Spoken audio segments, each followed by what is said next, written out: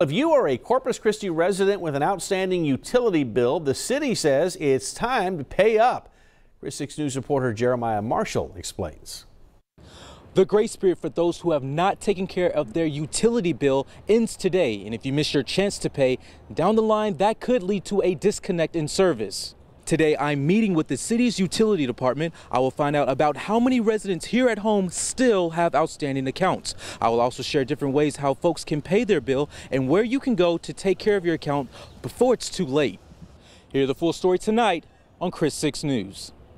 Tom